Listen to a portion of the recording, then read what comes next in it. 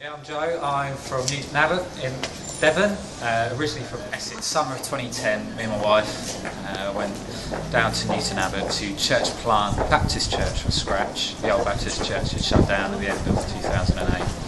And uh, so we were sent to explore new ways of being church and planting something that was different to the traditional inherited model of church that we see. Yeah, I mean, we're, we're still very new and organic. Only been a couple of months, but we, meet on Saturday afternoon and we gather together in our home at the moment.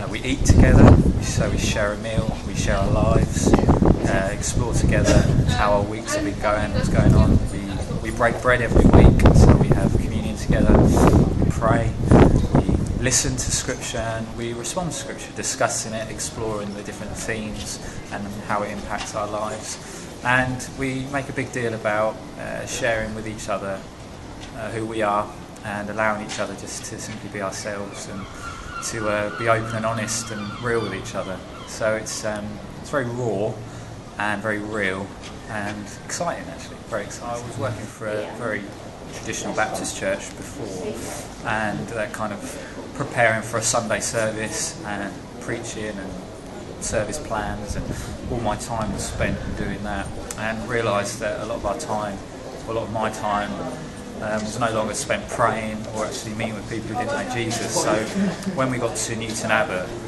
um, God, God really touched our hearts in terms of making sure we were people prayer. Uh, when we got there, prayer was and still is foundational to what we're about. Prayer walking, committing ourselves and devoting ourselves to prayer and praying for the community and for people. And then uh, making sure we spent loads and loads of time with people who didn't know Jesus. So being in the places where they were in pubs and in coffee bars and in community groups. And out of praying and out of being with people who didn't know Jesus, um, God very organically and naturally enabled the church to be born. Um, just over a year after we got there, um, this fledgling group of people started to get together to explore who Jesus was and disciple each other.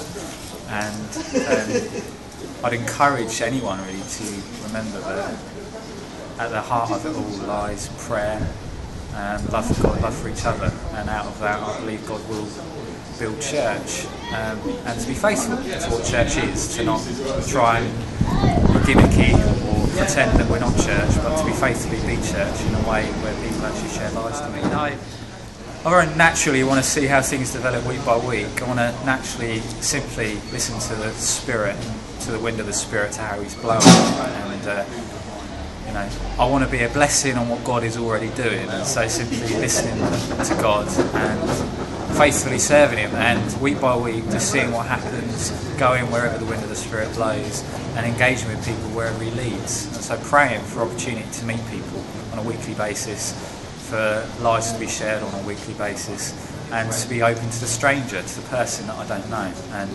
asking God to introduce me to someone that I don't know every week, and, and beginning a new relationship with them.